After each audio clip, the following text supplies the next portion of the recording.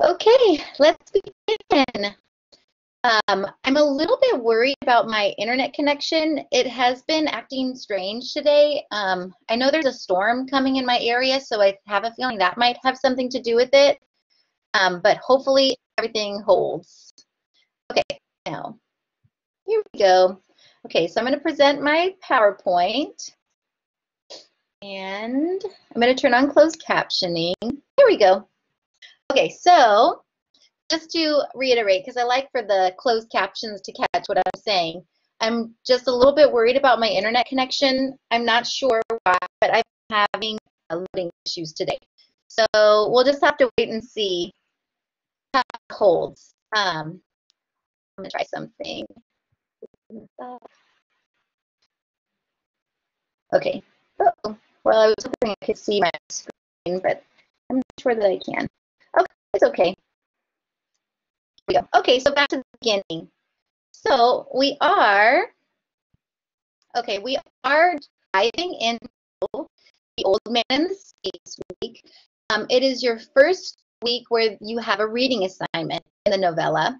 So I wanted to um, prep you a little bit for that reading, as well as frame the reading through the lens of the final assessment just so that you can um, read with that assessment in mind and hopefully that will make doing the final assessment easier. Okay, so I want to do a quick check-in. This is just our agenda. I want to do a week's work overview, so the week 11 overview. I want to do a quick review of the web quest. I want to do an update on upcoming work. And then I want to prep for this final assessment. Um, I did find this beautiful animation of the old man in the sea, so I wanted to watch the first five minutes because it's going to do an excellent job of contextualizing the plot for you where you can, of course, this is the animator's vision for the novella, but you can have a visualization of what you're going to be reading. Okay, and I included this beautiful beach scene because The Old Man in the Sea is set in Cuba and um, our main character is a fisherman and we will spend the majority of our time on the beach. Actually we'll spend the majority of the time on the open sea but um, he lives in a fishing town so that's that. I was thinking oh it's so nice that we have temperate weather right now because reading this might feel a little bit like salt in the wound if it was very cold because he does hemingway does paint these beautiful images of of life in a sea town or life right on the ocean. He describes sea turtles and dolphins and um, the the um, man of war. Um, the the word is in me right now for the man of war um, jellyfish. Oh no, I can't see anything. Okay, let me see. Yeah, you know what? My internet is having trouble. Okay, I don't know what's up today with my internet. Let me see if that worked. Oh no. Okay, let's see. I think it. Hmm. Are you seeing now?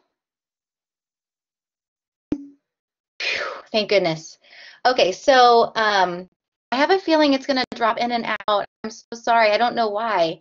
Um, I, I'm pretty sure we have a storm coming in, and that's why my internet is being so strange. Um, the recording should have everything, but I'm so sorry. I know that's frustrating. Okay, so hopefully it holds. Here we go. So uh, I did want to do a quick check-in to see how you are all doing. This image hopefully is familiar by now, so um, you shouldn't be um, confused by the setup, but if you are, just take a minute to study it. Answer one of the two questions. You can put that word in the chat, or you can private message me that word what word words today or what color on the mood meter represents your mood. My captions turned off.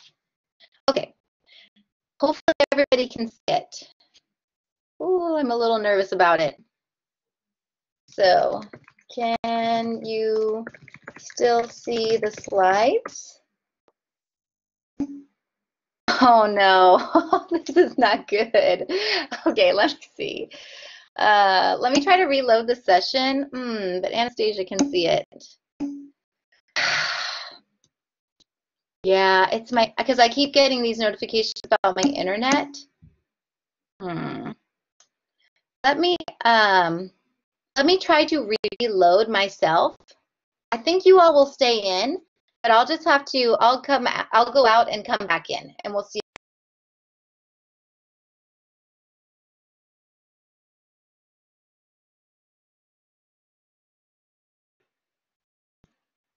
Okay, so, all right, I'm back. Now let's see if that works with my, where I can share the screen. Ah, I'm getting a notification that um, my internet is not working well. But hopefully I can see the screen. Okay, that's good. Whew. Okay, good.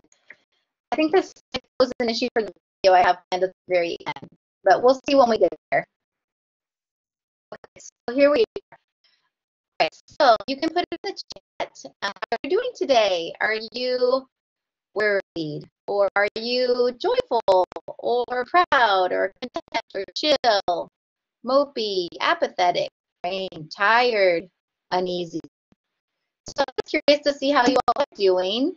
And then I'll check um, chat. What color are you if you don't want to pin down a specific word? Are you red? Are you yellow? Which is happy. Red is kind of in the angry quadrant. Blue, sad quadrant. Green, Oh, sleepy. Oh no, exhausted. I'm sorry. Jill. Oh, that's good. Okay, hopefully, um, okay, I do want to give an update on some of the work, upcoming work. First, this is um, this is your week 11 work. Now, um, I did remove one of the assignments, and I'm going to make another one of the assignments optional. So I'm going to make sure to really highlight that carefully. Oops, I forgot my captioning. There we go. So of course, I want you to continue to record the page numbers you read in the reading tracker. It's due in week 15, and that's going to be here before we know it. Um, I want you to read the information on Hemingway's Code Hero, and actually, rather than read it, uh, or you can read it, but I am going to go through that information very briefly in today's e-session.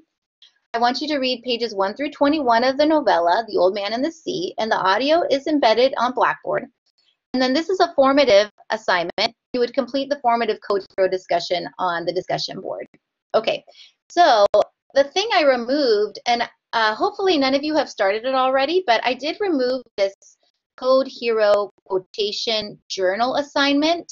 Um, I feel like you all have enough work in English where I could remove that and I would still have ample evidence of your skills in English. So hopefully removing that doesn't make anyone upset. If you want more work, feel free to ask me and I will give you some. Oh man. Okay, let me see the videos. Uh, let me see. I'm going to stop sharing for a second and then I'm going to try again. Okay. Okay, it popped back in for me. Hopefully that works. Okay, so the other thing that I want to highlight is that I'm going to make your book talk assignment optional. Book talk is due in week 13. Some of you have already submitted a formative version, and you can submit that for summative if you want. But I think I do have quite a bit of students with um, significant amount of late work, and I'm wondering um, if it's because there's really too much work in English. Um, so I'm really evaluating that piece, and I will think about that for next semester also. Um, but so again, the book talk is optional, and I noted that on the pace chart. So I just want to show you that really quickly. So here's our classroom. Here's our pace chart, and we have, here's week 11, 12, 13. So here, I've decided to make this optional, this book talk. You may choose to submit it if you want me to consider score on determining your final averages. Okay, so hopefully everything with the video is working. Whew. Okay, good. So again, book talk is optional. I cut out the Code Hero quotation journal. The other thing I'm thinking about, oh my goodness, wow, I'm having terrible issues with the internet today. Okay, let me see. it's too much. I know. Uh, let me see. Okay. All right, I'm going to try one more time. I know this is painful for you all. I know it's pleasant to watch a screen that heads in and out, in and out. Let me, okay. All right, so I was thinking about um, adding some other options for your for your final, uh, the final discussion board, so that it's a little more reflective rather than analytical. I feel like reflective writing is um, a little more accessible, and um, I think by the time we get to week 17 and 18, we're going to be tired. And so I want to make that piece a little more reflective. Um, so I'll be updating that hopefully in the coming week. Okay, so there's that. Now, oh, so I wanted to see, and hopefully my internet holds and allows us to do this. I wanted to see if anybody um, had anything interesting they wanted to share from, oh, here we go, from the Hemingway web quest. So you can, you can, if you remember anything specific, on the whiteboard. So I think you can write right on the screen. This is my first time using this tool, so I thought it would be fun to try it out just to see how it goes. Um, do you remember any interest facts from um, the web quest from this past Okay, and I'm going to go back over here. Let me see if I can do it. This is my first time doing it. Hmm. Let me see. I thought the whiteboard was where you could just write on the computer screen, but I'm not sure how to do it. I might need to play around with that function a little bit more. Sorry about that, guys. okay, so hopefully it's not frozen. Okay, so I'm going to come back over here, and I think I can write on mine. Ah, look at that. Taylor says he knew how to play the cello. Isn't that cool? Um, Hemingway is truly this dynamic, compelling person. Um, it's in the Blackboard settings. I have it set so that you can write on it where it says draw on whiteboard and files, but I don't know how I can do it myself. That's the only thing. Okay. Um, I'm trying to think if there's anything else that I found particularly interesting. He lived his last 20 years in seclusion. Yes. Um, I think that video we watched hinted at why he might have chosen to do that. He struggled with anxiety and depression towards the end of his life. Um, so it's a little bit tragic to me that um, he was himself like that. Um, okay, and then I'm sure you know he's um, he worked or he was in several wars um, as a medic, and then um, here we go. Um, let's see, he also lived in many places across the US as well as abroad, Cuba, Europe, um, married several times, um, lots of infidelity, which led to remarriages. So he just had this very um, adventuresome life, I guess you could say. Okay, now I wanted to give you some notes on the final assessment for The Old Man and the Sea, just because this is truly the only assessment where I will be um, looking at your comprehension of the old man in the sea because I removed that code journal. Okay, so for your final assessment, you will be creating a children's version of the old man and the sea using, I'm not sure how to pronounce that, Issuu, Prezi, or a Google slide presentation. Your story must be a minimum of 10 slides long. You will receive three separate grades for this assignment. So target one, Hemingway style. Okay, I'm to check the chat because I'm worried I dropped out. Oh my goodness. I know I'm having so many issues with the internet. Uh, okay. I'm so sorry, guys. Let me see. I'm going to try to reshare my screen. We'll see how that does. Maybe, you know what? It could be because one of the other teachers um, was messaging the teacher um, read about having issues with Blackboard. Okay. It could also be my internet because it's saying I have very poor connectivity today. I'm not sure. Okay, so working on, you'll have three separate grades for this assignment. So target one, Hemingway style, target three, theme, target one, visual. And then here's the explanation of each grade. So your story must attempt to capture a writing style similar to Ernest Hemingway's using your own words. Do not copy and paste sentences or phrases from the novel. Hemingway's style was known for being uncomplicated and simple using short sentences. His writing focused on the action of the characters rather than the emotions and thoughts. He also mastered dialogue within his writing. How a character spoke was often more important than what the character said. The use of dialogue or monologue is required. Please identify your attempt capture Hemingway's style in italic font throughout the story. Failure to do so will result in an approaching grade for the style. Okay, so you might have questions regarding what does that style actually look like? So I'm going to go over that um, in three slides or so. What does it actually, or what characterizes his style? And then we can look at an advanced um, sample of this assignment. Okay, so for the theme, story version must demonstrate your understanding of one of the following themes. Determination, courage, companionship, independence, pride, loyalty, respect for nature, or perseverance. And some final points to consider. You are allowed to make slight changes to the original storyline, but do not deviate too much from the character's plot, setting, etc. in The Old Man and the Sea. With this particular um, point, you can always do a brief explanation in your Blackboard submission explaining why you chose to deviate from the original plot. Um, and that would also enhance um, my understanding of your comprehension. So, a number two, you do not need to retell the entire novella, but rather a part of the novel. You can begin your children's story at any point in the novel. You need to pick one of the above themes and develop the theme by writing a condensed version. So, this children's story for ages 8 to 10 also, you may work with a partner or you may work individually. If you are in search of a partner, you can sign up here. So these are just screenshots so that I could have them on my slides.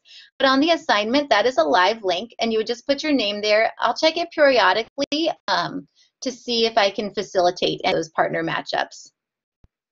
Okay, this is the last uh, note on the assignment. So for the visual um, portion, your story must be visually appealing. Remember, this is a children's story pictures engage.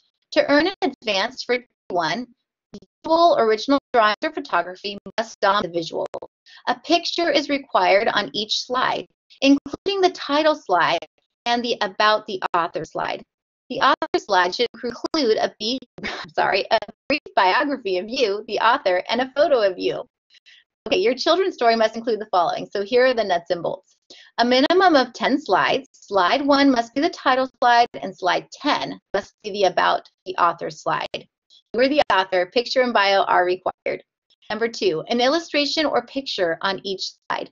Photos, GIMP images, clip art. Be creative to earn an advanced grade. Pictures need to show some originality. Um, so when you think about a 10 slide minimum, um, and if you were just aiming to reach the minimum, I'm going to check the chat. Let's see.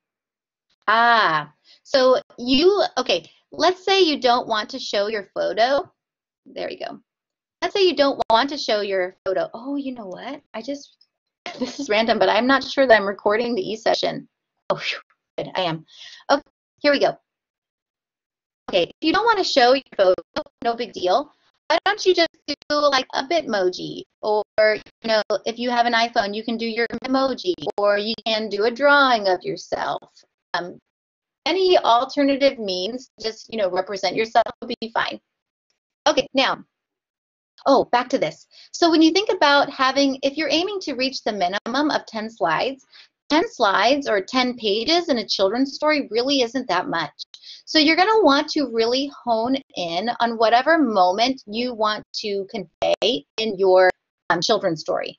Again, you do not want to cover the whole story, the whole novella in your children's story. That's too much um, because you are trying to communicate a theme um, with just one part of the story. So really evaluate what part you think would resonate uh, for your theme. Okay, so you want to have a clear plot with beginning, middle, and end. You want to capture a writing style similar to Hemingway's, and we'll go over that on the next slide. You want to use at least two characters. The fish, Santiago, Manolin, the bird, a shark. Okay, there's others as well. You know, you could do like the jellyfish, the dolphins. Um, more animals present in the no novella than there are people, so just keep that in mind. You want to use dialogue or monologue. You want to de develop the themes above, so these themes here. You want to use correct grammar and spelling, and you want to retell the, the original storyline, only make slight changes. Only a portion of the storyline again, not the whole novella. Okay, you must not include a threatening situation. You do not use harsh or abusive language. Do not use an elaborate setting. So you want to um, you want to uh, mirror the setting that Hemingway uses in The Old Man and the Sea. Uh, please do not create a stereotype do not use the moral of the story, and do not give advice. Okay, now, oh my goodness. Man, yes, I'm sure it's so frustrating. Let me try to reshare my video. Okay, so I'm going to come back here, and I'm going to reshare. We'll see. There we go. Okay, hopefully it's back. Okay, now all right, so I'm to jump in and we can look at this. Let me see what the chat says. Whew, okay, good. Okay, I want to go over here and we can look at this model. Okay, so this is someone's model story, and you'll see that, oh, I can turn on the captions in here. And you'll see that it is a combination of photographs and drawings. Okay, so this is the children's story. Um, so remember, you're required to Hemingway's you mimicking Hemingway's style of writing in italics. It says he finally took it, the old man thought. The fish had been toying with the bait for a little bit. He was finally hooked. I knew would come, he thought. He had not given up. It had been no days without a fish. Now that he had a big fish hook, he wait. I will fight him, and the old man said aloud to himself. Hours later, the man made little progress. He was far out at sea, a little too far. He wanted to make the tired. Okay, so you'll see that this uh, model does employ dialogue. Okay, so make sure you include dialogue. Hemingway was a master of dialogue. Um, and this comes in the novella when Santiago has actually hooked the marlin already. So in your reading for this week, you will see um, you will see when um, Santiago does hook Marlin. Okay, I'm not going to read the whole story because I don't want to give away too much of the plot, but I wanted you to have an idea for where you're going with this assessment. And then you'll see there's a combination of hand-drawn illustrations as well as photographs. So here we go. We have a photograph. And then remember, you want to keep all of your writing that mimics Hemingway in italics. Okay, so um, we can maybe come back to this next week. Right, it kind of does a away, but I just wanted to be sure that you knew where we were going with this. Okay, now I wanted to give you some notes on Hemingway's style. This is um, this document here, and it's linked on the assignment. So where you see this, this is that document on the original assignment. But I thought it'd be a good idea just to go over it. So to characterize Hemingway's style, um, here are the you know following most prominent. Um, he was strongly impacted by journalism, translated into short, energetic sentences. He eschews adjectives and uses short, rhythmic sentences that concentrate on action rather than reflection. Okay, now I really like this sentence. It uses this awesome vocab word. Is anyone familiar with eschews? So if I were to say he eschews adjectives, what does it mean? Does it mean I use adjectives or I don't use adjectives? Can you put it in the chat what you think?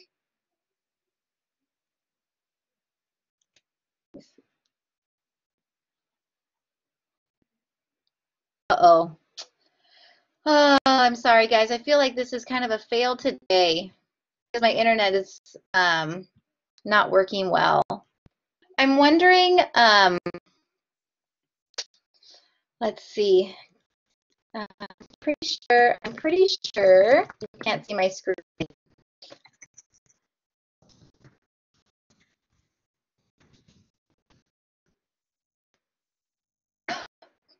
Oh no.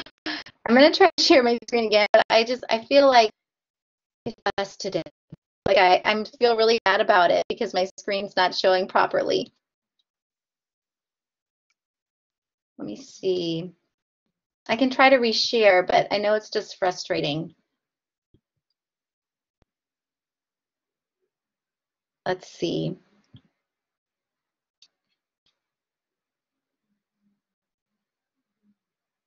Okay, is that better?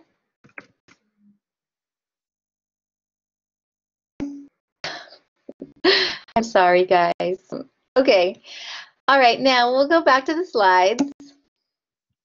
Okay, good. All right, here we go.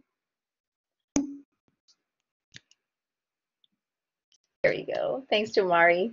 All right, now, to eschew adjectives mean you would avoid using them. So when you are writing for your children's story, I would suggest not using too many adjectives because remember we are mimicking Hemingway. The sentences are short, direct, and rhythmic. So when you read them out loud, try to hear that rhythm. Um, try to, it doesn't mean rhyme. He doesn't use rhyme, but he uses words their syllables would actually create a rhythm in reading them out. Okay, now he revised obsessively. That means he went back and he looked at his writing over and over and over and over to really pare down to what was absolutely necessary. So I pulled this quote from the article. So interesting. He says, the writer says, or actually Hemingway said this, if a writer of prose knows enough about what he is writing out, he may omit things that he knows. And the reader, if the writer is writing truly enough, will have a feeling of those things as strongly as though the writer had stated them. The dignity of the movement of the iceberg is due to only one eighth of being above water. I thought that was pretty profound, actually, this last part. And I included this image of the iceberg because um, it does show how much of the iceberg exists beneath the surface. The majority of the iceberg is below the water. The iceberg, when we see it, you know, if we were on a boat or on land where we could see iceberg, the iceberg moves majestically and slowly and with stability precisely because it has this deep anchor in the ocean. So he wanted to use this image as a metaphor for his writing. This would be the writing, this would be the part that people read. But so much more is communicated in the sparseness of the writing because the author is so familiar with it and has revised it so many times to include what was absolutely necessary. So he says, okay, right here, if the writer of prose is familiar enough with his writing, he can omit a bunch of things because through what he chooses to include here, the reader will be able to infer those deeper I guess, beneath the surface inferences. Um, so think about including very precise details.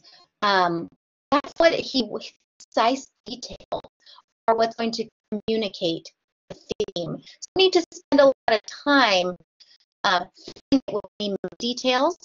You want to include um, specific details for a purpose. Okay, again, Hemingway was a master of dialogue.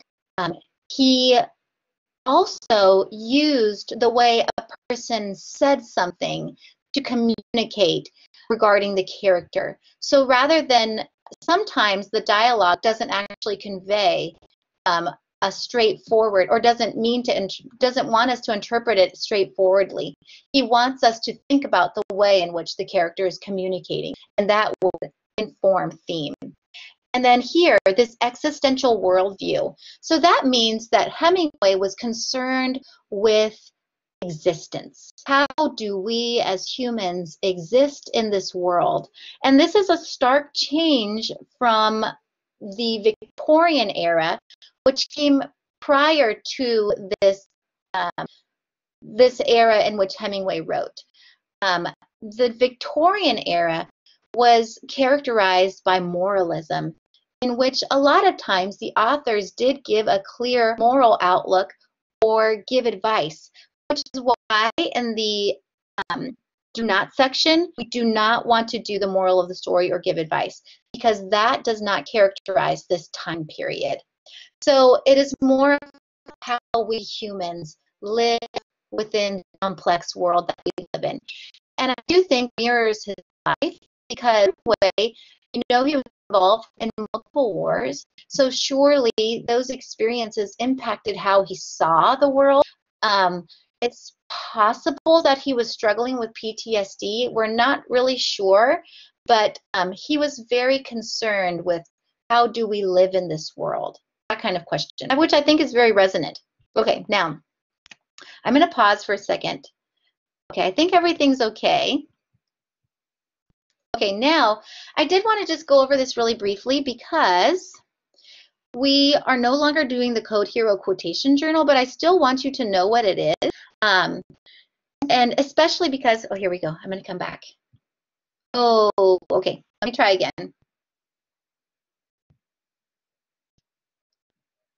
Okay, so I do want you to know what it is. Hemingway is considered one of the greatest authors, and I think it's important to be familiar with um, his writing. Here we go. His writing is characterized by having a protagonist who qualifies as this code hero.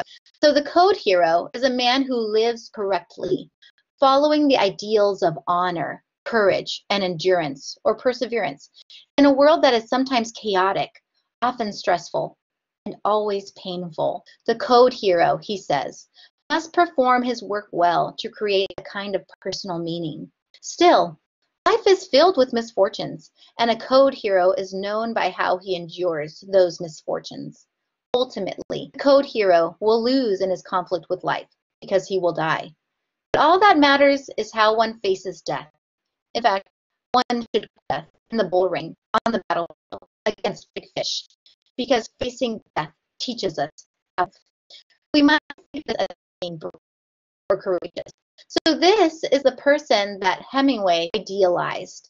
And in most of his books, if not all, he features a character who strives to be this code hero. So I do think perhaps a shorthand way of understanding the code is a man who lives with nobility, who tries to live a life with honor, with courage, um, with loyalty. So whatever you would consider to be you know, the highest moral characteristics, it's likely that those would apply to the code hero. Okay, here we go. So I want to give you, here we go. I'm going to make sure everything's okay. I don't see anything chat. Hopefully this works. We'll see. Okay, so I wanted to give you, here we go. I wanted to give you uh, a previewing of the novella through this animation. I believe it came out in 2002 and it's award winning. It's very beautiful, actually. And um, I only wanted to show you the first five minutes because I wanted you to get a sense of the plot. Oftentimes, doing just a small previewing of a text can really enhance comprehension. Uh, so having these visuals in mind as you approach the reading, I think will be really helpful. Okay, so I'm just going to do the first five minutes. And it gives us a sense of their world. It gives us a sense of the characters. So here we go.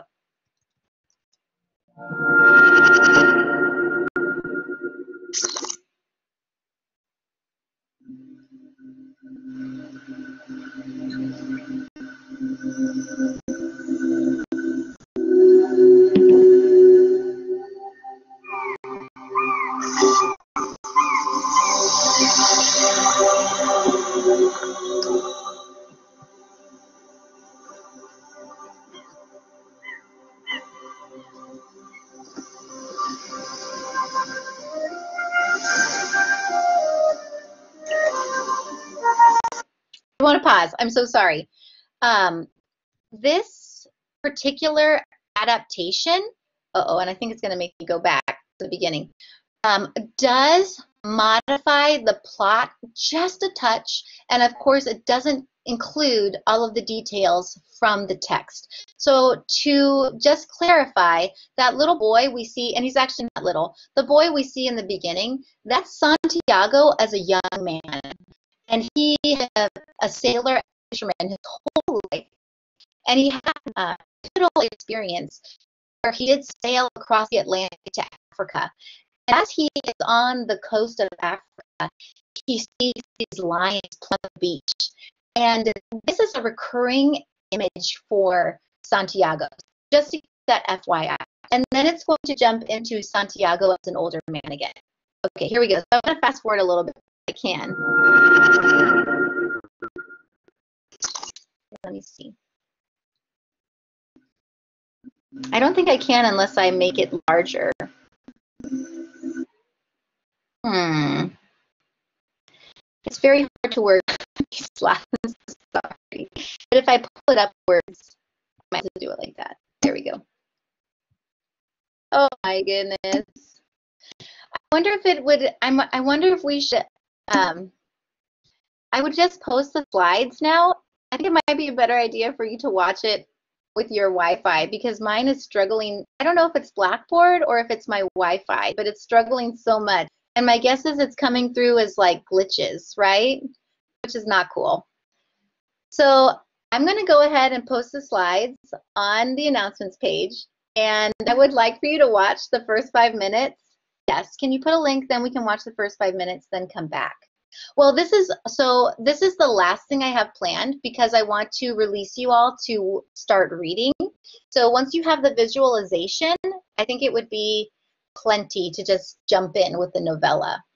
So I think it would be okay if I just posted it on the announcements. It's already like 1037. I feel so bad because I have a feeling that my technological errors also a waste of time. So feel terrible.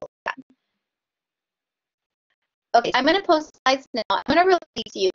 I think the chat still works. Um, here we go.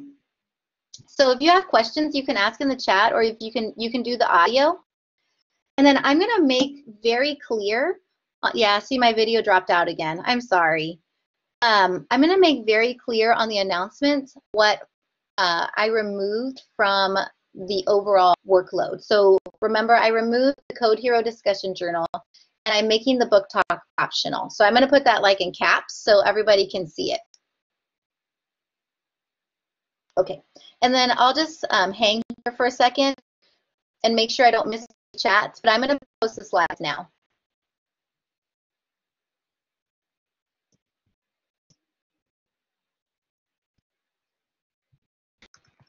Eleven E slide.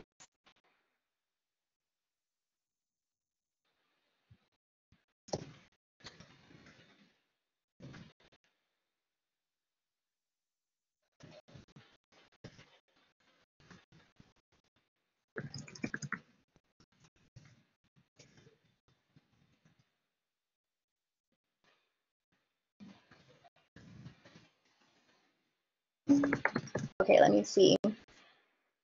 Thanks, William. I, I totally agree with you. Some days are like this. All right, have a good week too.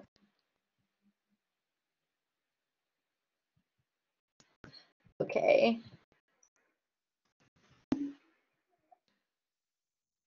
Hi, Anastasia.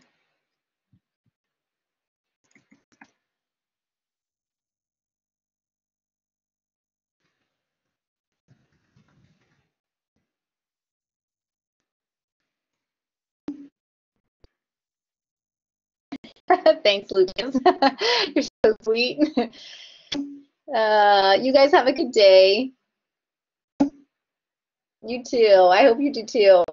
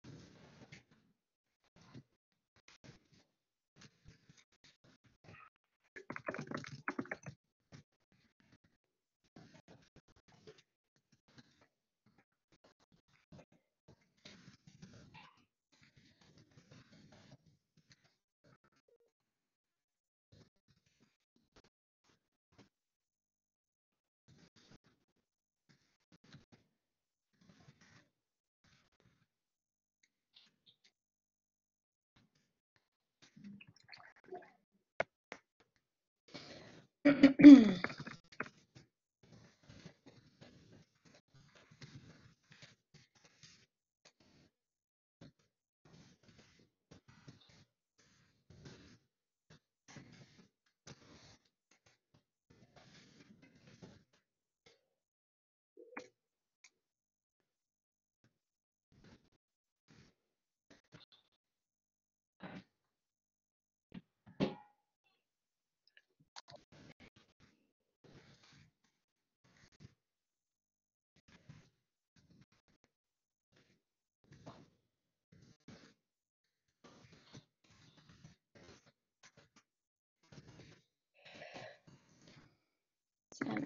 adaptation.